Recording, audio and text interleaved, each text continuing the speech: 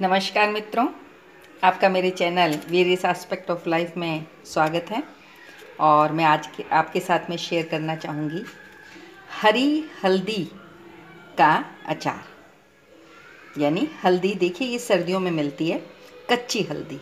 हरी यानी कच्ची। देखिएगा, ये इस तरह की होती है फ्रेंड्स आप देखिए, बहुत अच्छी रहती है ये शरीर के लिए। आप इसको कच्ची इस तरह से भी यूज़ कर सकते हैं, जैसे अदरक यूज़ करते हैं। आप इसको साफ़ करके, इसका छिलका उतार के, आप इसको क्रश करके दूध में डाल करके बच्चों को पिला सकती हैं। हलवा बनाती हैं तो उसके अंदर जो थोड़े से इसको कस करके और आप उसमें डाल दीजिए और बच्चों को गरम गरम दीजिए थोड़ा थोड़ा ही दीजिए, ज़्यादा नहीं। तो ये बहुत अच्छी होती है। मैं इसको अचार के रूप में बना करके कुछ समय के लिए रखूँगी, यानी इसको मैं थोड़ा थोड़ा बनाती हूँ। वैसे आप साल भर भी इसको बना करके रख सकती हैं, पर मैं थोड़ा थोड़ा बनाऊँगी और इसको हल्दी को मैं, हरी मिर्च के साथ में इसका अचार बनाऊँगी।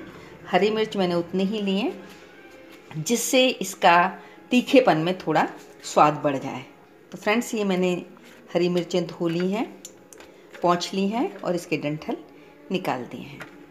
अब मैं इसको छीलूँगी और छील के इसके स्लाइस बना लेंगे।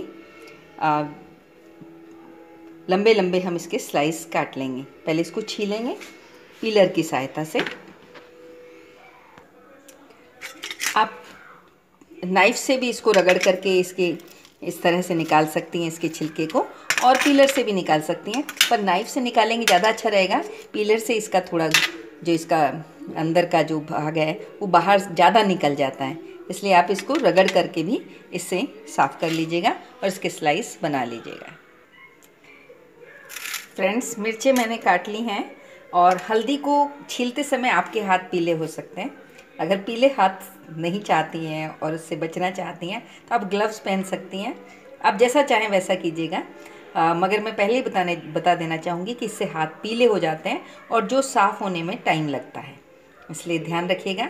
आप इससे अवॉइड करना चाहती हैं तो आप ग्लव्स पहन करके भी इसको, इसका कलर न लगे, इसलिए आप इसको छील सकती हैं। फ्रेंड्स देखिए मैंने हल्दी जो है वो छील करके और उसके स्लाइसेस बना लिए हैं। छीलने के बाद भी मैंने वॉश किया।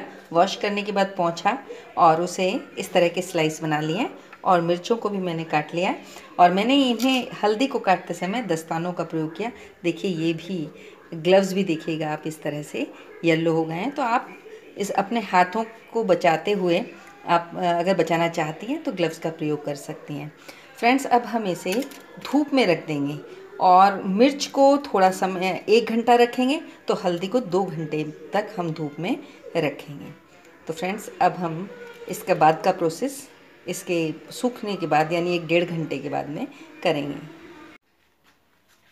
हेलो फ्रेंड्स देखिए, ये मैंने जो हमारी हल्दी थी, उस हल्दी को मैंने तीन चार घंटे धूप में रखा और ये इस तरह से हो गई है। आप देख पाएँगे। देखिए इस तरह से आधी आधी सूखी सूखी हो गई है। मिर्चें भी मैंने धूप में रखी थी और ये भी इस तरह की हो गई हैं। और इसमें अब हम इसका एक सिंपल सा अचार डाल के रखेंगे जो हमारे पेट के लिए और हमारी सर्दियों के लिए हमें गर्माहट दे। इसमें लगने वाला है, मैंने ये राई ली है, पिसी हुई राई सेंधा नमक और सफ़ेद सी सॉल्ट और लेमन जूस करी पत्ता, मिर्च है ही और हल्दी, ये हमने जो सुखाई थी। फ्रेंड्स इधर मैंने कढ़ाई में दो टीस्पून यानी दस एम के करीब मैंने इसमें ये ऑयल लिया है रिफाइंड ऑयल है सिंपल ऑयल लिया है मैंने। और ये इतना सा ऑयल मैंने इसलिए लिया है कि हम, हमारा जो ये राई है ये इसमें पक जाए और साथ ही हमारी करी पत्ता जो है वो इसके अंदर कर, एकदम अच्छा करकराहट भरा हो जाए, क्योंकि थोड़ा सा इसमें करी पत्ता भी डालेंगे हम। फ्रेंड्स, हमारा ऑयल गर्म हो गया है। अब हम अपनी गैस को सिम पर ले आते हैं।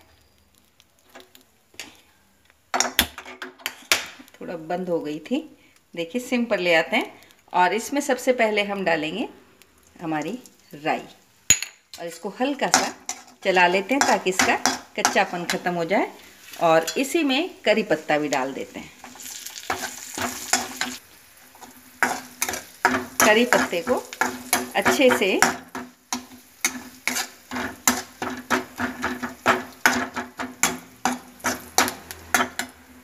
ये देखिए, ये अच्छी तरह से हो गया। कच्चा नहीं मतलब सूख सूख जाना चाहिए, क्रिस्पी हो जाना चाहिए। अब गैस को बंद कर देंगे फ्रेंड्स, और इसमें हमारे दोनों तरह के नमक डालेंगे।